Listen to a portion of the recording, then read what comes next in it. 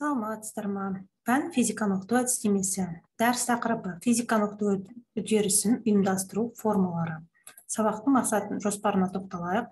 Бірінші физиканы оқыту үдерісін ұйымдастыру формалары. Екінші қазіргі заманғы физика сабағы. Үшінші физика сабағының құрылымы. Төртінші физика сабағына қойылатын талаптар. Бесінші факультатив сабақтардың мақсаты мен маңызы.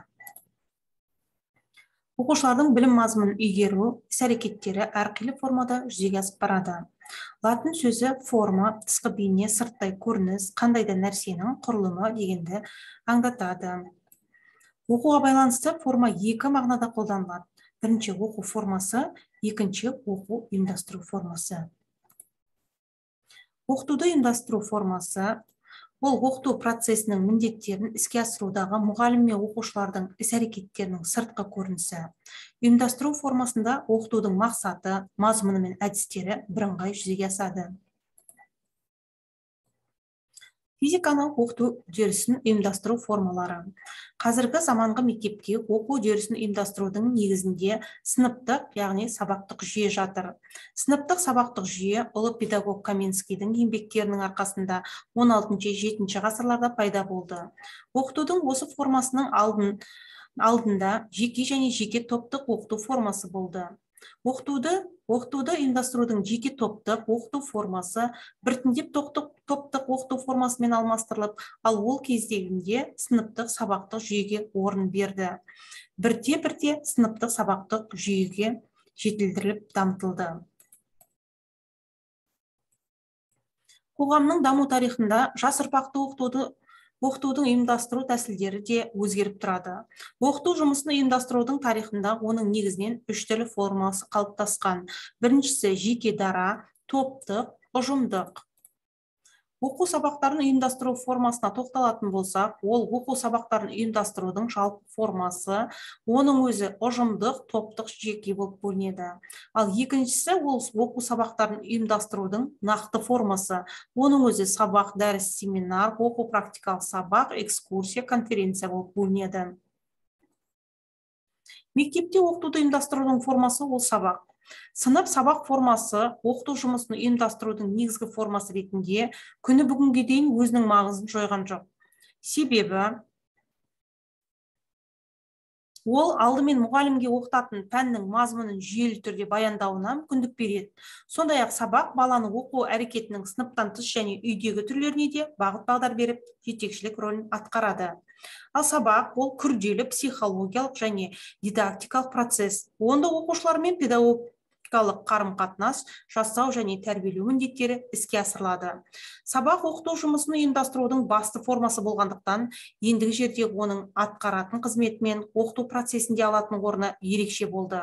Сабақта оқушыларға білім берумен қатар олардың рухани адамгершілік қасиеттері мен ақыл ой қабілеттерін дамыту мақсаттары көзделді. Мектепте оқытуды ұйымдастырудың орнамасы ол сабақ. Әрбір сабақ белгілі көлемде оқу және тәрбие міндеттері мақсаттарын шешуге арналған әбден ойластырылып белгілі жоспармен жүргізілетін аяқталған сипатта болу керек. Ол белгілі айқын мақсаттарға байланысты жаңа білім беруге жаңа ұғымды қалыптастыруға алған білімдерін практикада қолдануға дағдылануға тереңдетуге білімдерін бекітуге қайталануға алынған білімдерін тексеруге және есеп шығаруға арналады. Сабаққа дайындалған кезде мұғалім сабақтың ең басты мақсатын анықтап осы мақсатқа жету үшін тиімді оқыту әдісін және оқытуды ұйымдастыру жұмысының түрін таңдайды. Физика сабақтарына қойылатын талаптар сабақтың құрылымына қойылатын талаптарда сабақтың дидактикалық және тәрбиелік мақсаты білім жүйесінде оның мәнін дұрыс анықтау қажеттігі туралы айтылады.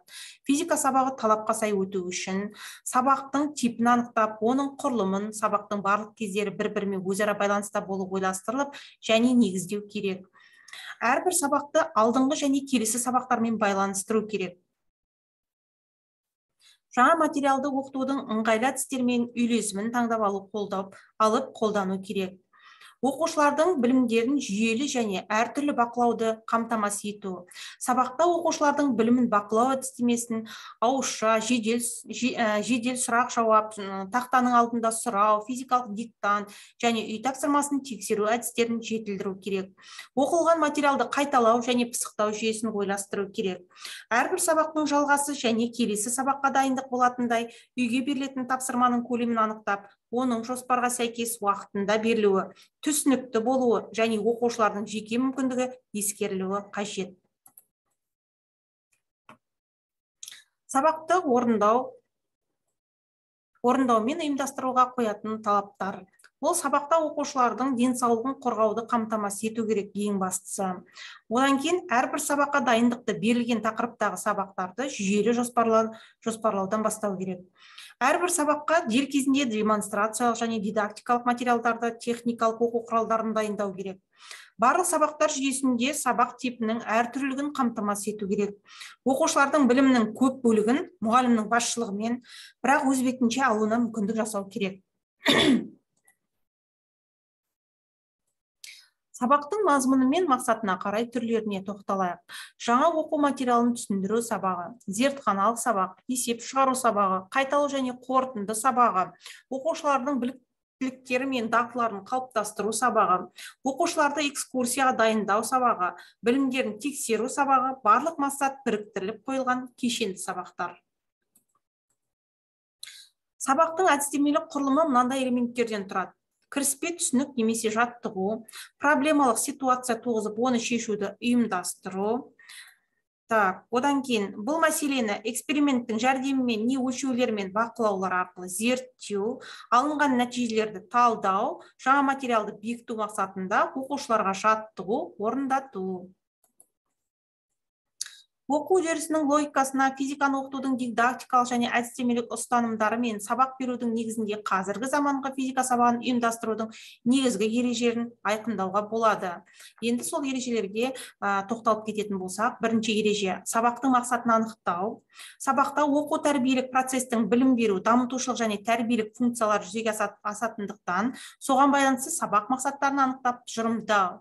Екінші ереже сабақтың мақсаттарына оқушылардың қабілеттері мен мүмкіндіктеріне сәйкес оқу материалының мазмұнын және оның көлемін жаңа материалдардың бұрынғы оқылған материалдармен байланысын оқушылардың өз бетімен орындайтын тапсырмалардың жүйесін анықтап дайындау сабаққа қажетті көрнекілік құралдары демонстрациялық эксперимент дидактикалық материалдарды әзірлеу. Так келесі үшінші ереже. Бұнда сабақтың типі мен түрін нақтылау дидактикалық міндеттерді шешудің жүйелілігі сабақтың барлық мақсаттарына жетуге әкеледі. Төртінші ереже бұл жерде сабақтың мақсаттарына оқу материалының мазмұнына және оқушылардың дайындығының деңгейіне сәйкес оқытудың әдістері мен тәсілдерінің ең тиімді түрлерін таңдау. Бесінші ереже оқытудың мақсаттарына мазмұнына және әдістеріне сәйкес сабақтың құрылымын анықтау.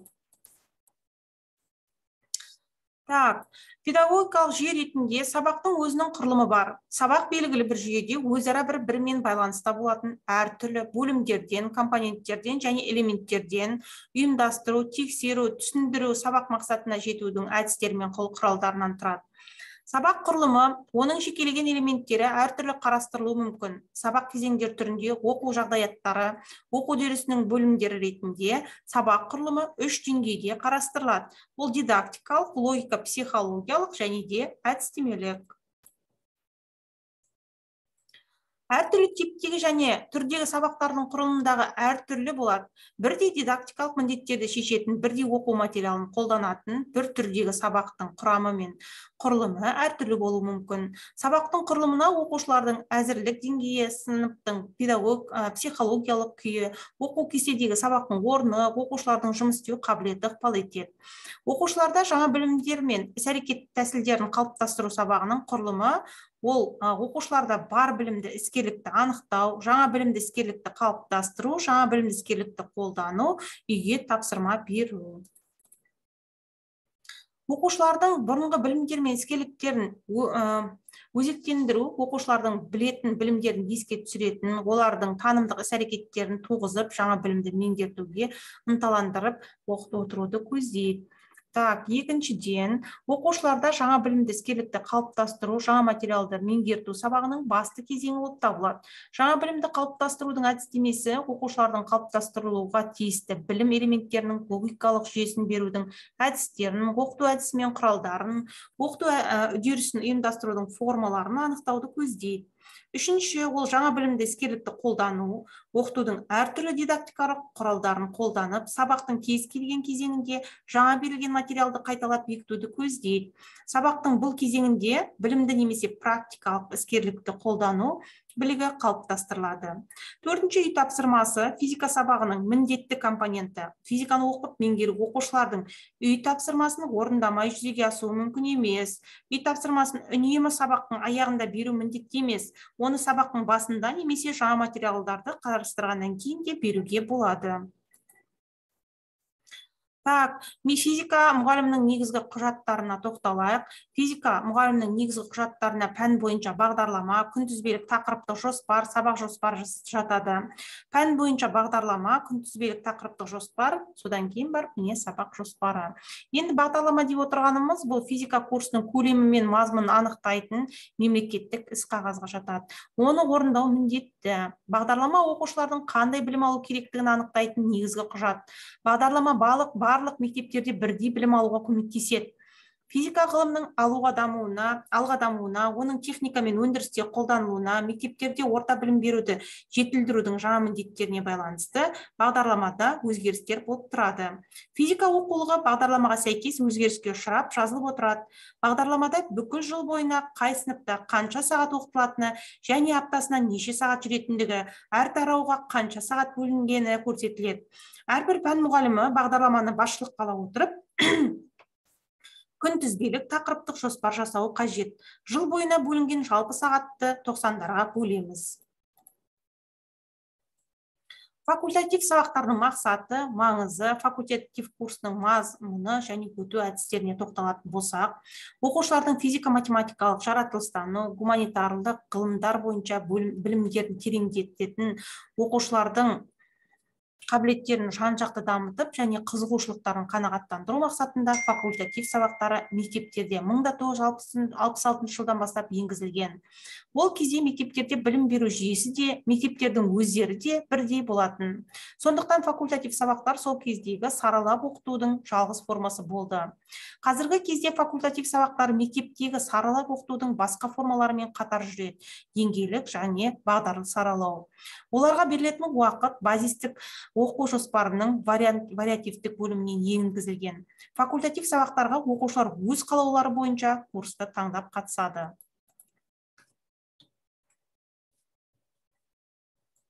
Факультатив сабақтарының маңызына тоқталатын болсақ бірінші оқушылардың қабілеттерін дамыту қызығушылықтарын қанағаттандыру оқушылардың шығармашылық қабілеттерін дамыту оқушылардың білімдерінің сапасын арттыру оқушыларды қазіргі кезеңдегі ғылым мен техниканың жетістіктерімен таныстыру оқушыларда жалпы оқу біліктерін қалыптастыру оқушыларға кәсіби бағдар беру. Факультатив курстарының жүйесі үш топтан тұрады.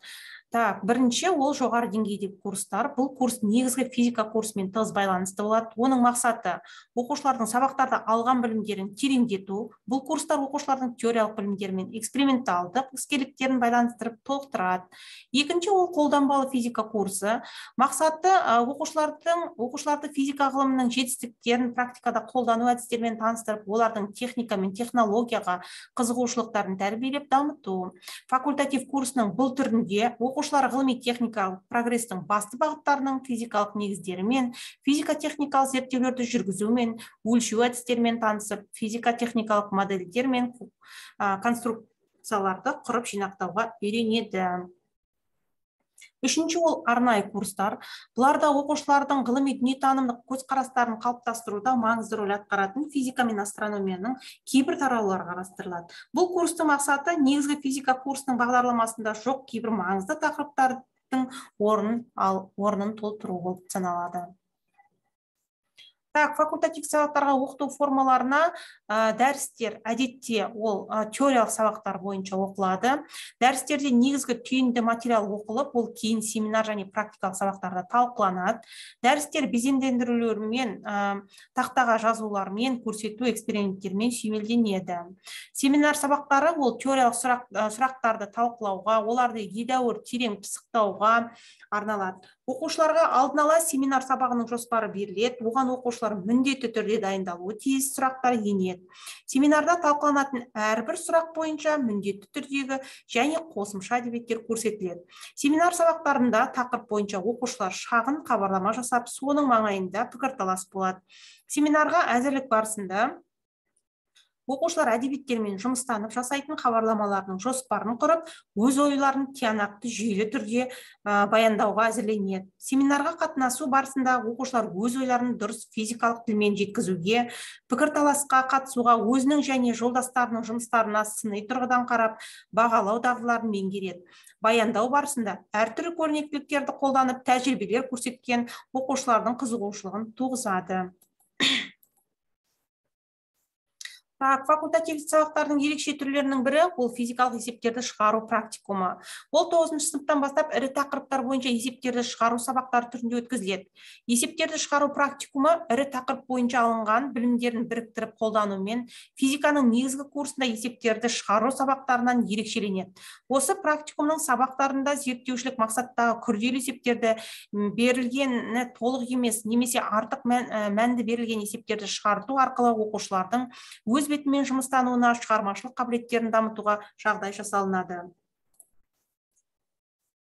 Факультативтік курстар бағдарламасы бойынша сабақтардың фронтальдық зертханалық жұмыстар және зертханалық практикум сияқты формаларын қарастырады. Онда фронтальдық зертханалық жұмыстар теориялық материалды тереңдетеді оқушыларда бастапқы эксперименттік іскерліктерді қалыптастырады фронтальдық зертханалық жұмыстарға әртүрлі өлшеулерді орындау мен аспаптарды құрастырумен зерттеу жұмыстарымен байланысты жұмыстар енгізіледі. Зертханалық жұмыстың басқа формасы физикалық практикум болып табылады. Оны жүргізу оқытуды жекелендіруге оқушылардың бейімдері мен қызығушылықтарын есепке алуға үлкен мүмкіндіктер береді. Практикумға оқушылардың іс әрекеттерінің сипаты бойынша олардың іс әрекеттерін басқаруға байланысты деңгейі күрделі әртүрлі жұмыстарды енгізуге болады. Егер оқушы физиканың қандай да бір болмасын тарауына қызығушылық танытып отырса онда оған өз қызығушылығы саласы бойынша эксперименттің жұмыспен айналысуға мүмкіндік беруге болады. Осымен біздің бүгінгі дәрісіміз аяқталды. Енді осы дәрісті пысықтауға арналған бақылау сұрақтарына тоқталайық. Бірінші оқу сабақтарын ұйымдастырудың формалары жайында түсіндіріңіздер. Екінші оқыту оқуды ұйымдастырудың негізгі формасы ол қандай? Үшінші мұғалім іс әрекетінің құрылымы қандай іс шаралардан тұрады? Төртінші физика мұғалімінің негізгі құжаттарын атап беріңіздер. Бесінші мектепте физиканы оқыту үдерісін ұйымдастырудың формасы қандай? Оқытудың сыныптық сабақтық жүйесінің негізгі белгілері қандай?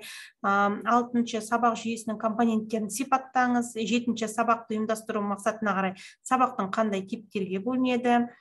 Сегізінші физика сабағын ұйымдастырудың негізгі ережелері қандай? Тоғызыншы физика сабағының құрылымы қандай?